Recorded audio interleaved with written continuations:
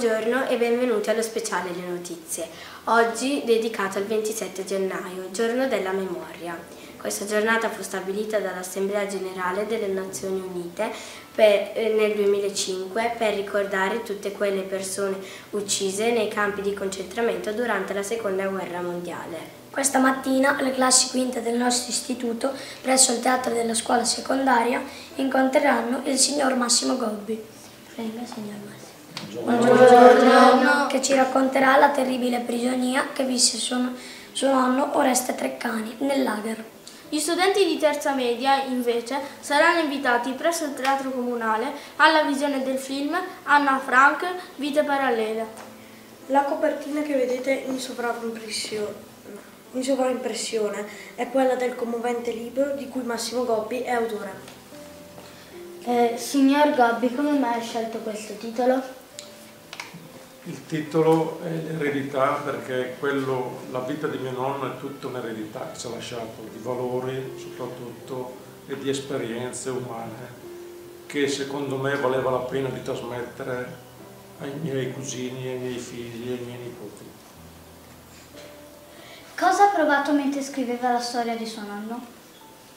Ho rivissuto certe esperienze che ho fatto con lui, ho provato a immaginare cosa ha provato lui in certe situazioni, soprattutto così drammatiche, e ho provato tante emozioni e eh, spero che, che la stessa emozione possa arrivare a chi lo legge.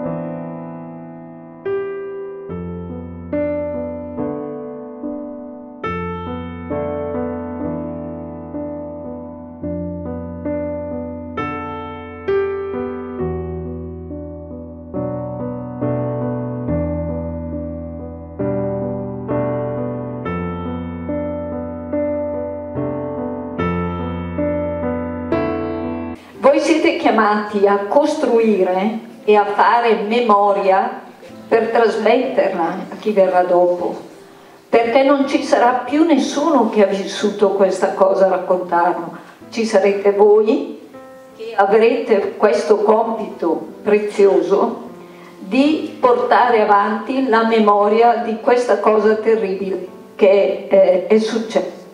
E tenete conto che non è facile fare memoria, è un evento lontano.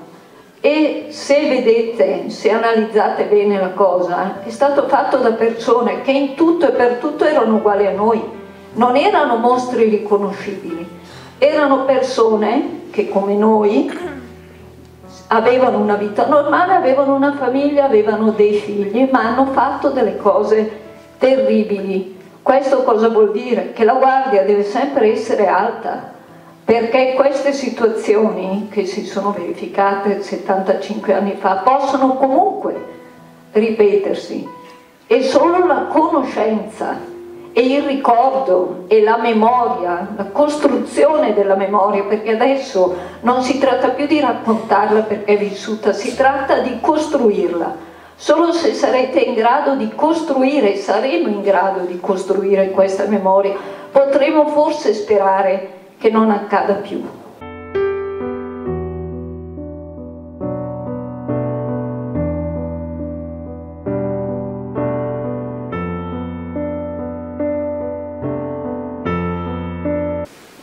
Abbiamo appena finito la visione del film Anna Frank raccontato in vite parallele. Questo film parla di Anna Frank principalmente, però parla anche di questa ragazza che cerca comunque di scoprire cosa è successo e cosa è successo a tutti gli altri sopravvissuti. Secondo me questo film è molto importante per ricordare comunque la memoria di molte persone che ormai non sono più tra noi perché sono state uccise o sono morte e è molto importante ricordare le persone che hanno comunque segnato la storia e non solo ricordare una persona come Anna Frank, ma tutte le 6 milioni di persone che sono morte.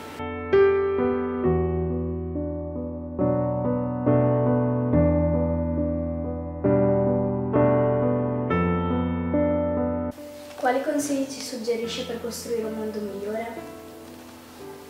Voi siete già forti, secondo me, però non dovete avere paura, perché la paura molte volte viene usata per creare dei nemici.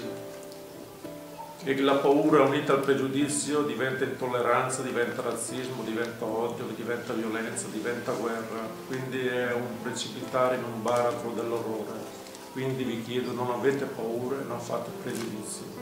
Salutiamo e ringraziamo il signor Massimo Gobbi per la sua disponibilità. Arrivederci. Oreste Guerino, come la maggioranza di loro, che come vi ho detto prima 650.000, ebbero una grande forza di rimanere immobili e di dire no.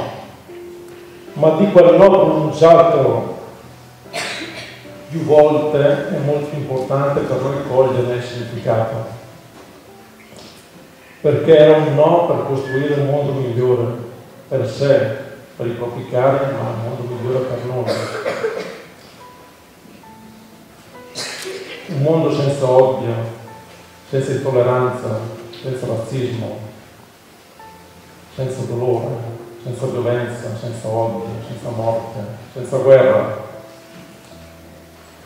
Un no per non avere paura. Loro che la paura la conoscevano benissimo perché erano nati con la prima guerra mondiale, stavano combattendo da tre anni un'altra guerra